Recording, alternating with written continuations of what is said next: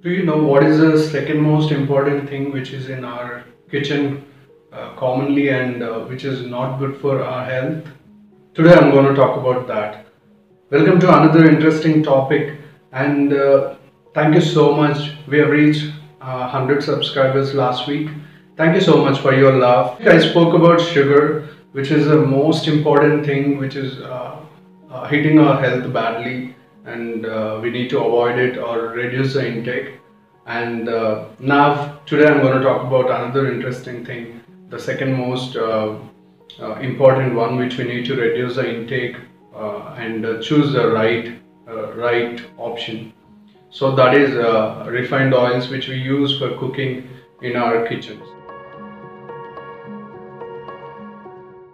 Almost all of us use refined oil.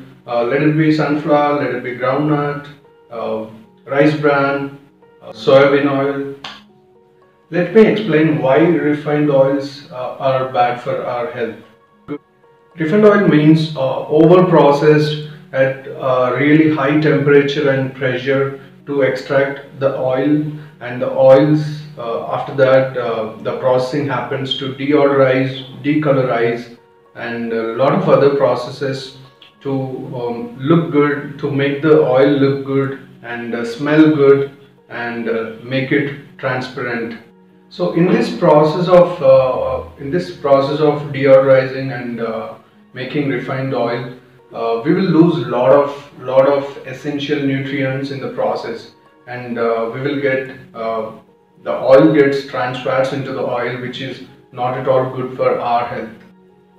Not only that, a few chemicals are added to the uh, added in this process to um, to increase the shelf life of uh, uh, refined oils. Observe how many times you are having oil intake in your day.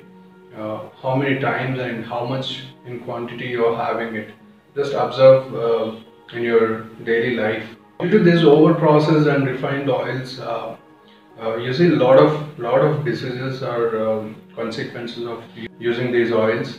It leads to increase in body fat, weight gain, obesity, um, certain types of uh, cancers, uh, type 2 diabetes, and heart diseases, heart diseases, and uh, suicidal thoughts, depression, arthritis, inflammation, and physical and mental distress.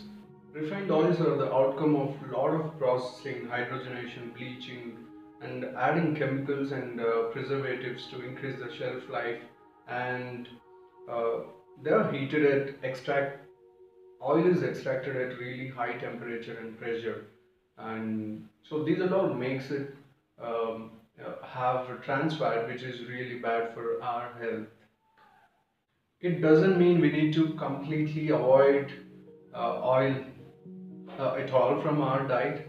No, we need to have uh, good fat for our survival uh, from from our diet. So that is by using right oil. We need to have right ratio of omega 3 and omega 6 fatty acids. Solution is choosing the right oils. Those are cold pressed oils or wooden pressed oils. Uh, if you see ancient times or if you go back to villages, you will see the way of extracting oil in uh, small mills and uh, small industries. You see that. Cold pressed oils you can see in villages how they make, um, not using a um, lot of processing and a lot of high temperatures. So that is good for our health.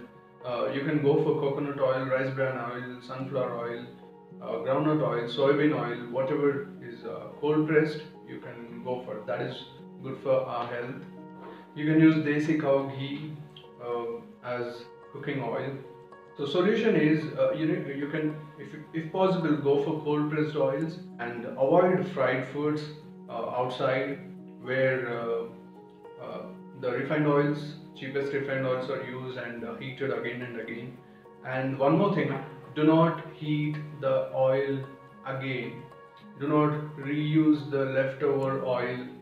Normally we do at our homes. So that we need to reduce. Reduce the intake of oil and reduce the reheating of the oil. Reheating again really really uh, dangerous for our health. It will increase uh, increase the trans fats in the oil and uh, makes the oil unpleasant. So reduce the oil intake, uh, choose the right oil, and do not reheat the oil. Uh, so these are the these are the tips um, which is really which is really important in our daily life to which will make you fit. That's it for today. Thank you so much for watching. Uh, see you in another interesting video